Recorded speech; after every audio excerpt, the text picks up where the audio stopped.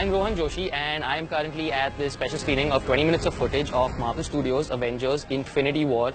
Um, I am unbelievably excited about this. To get to see a 20 minutes of this before everybody else is like, we can't even describe how happy we are. I have some theories about what might happen. Today is my birthday and this could be the best gift ever. This is the best movie of 21st century. This one is not going to let you down. It's going to be really, really nice. And you should expect that much.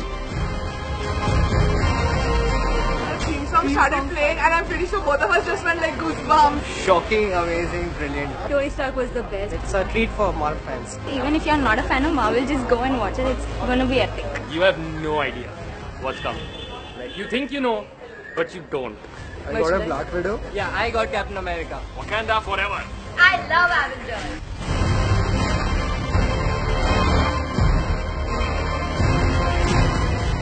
Are you serious? Oh my god, are you serious? I'm gonna book it tomorrow itself. I'll not study for my paper on Monday. I'll do this booking.